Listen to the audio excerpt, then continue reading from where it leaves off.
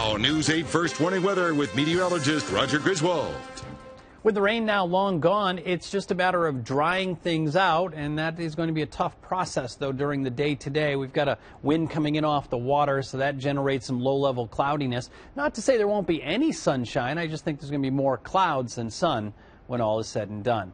Through the remainder of the overnight, some spotty drizzle at best, uh, maybe a little nothing more than a bit of mist out there. 6 o'clock in the morning, clouds in place. But notice by noontime, things are trying to thin out. Portions of southern New Hampshire, the White Mountains, and even during the afternoon, watch how the clouds sort of thin out. That would allow at least partly sunny skies to develop. Get some sunshine, you're going to get some warmer temperatures.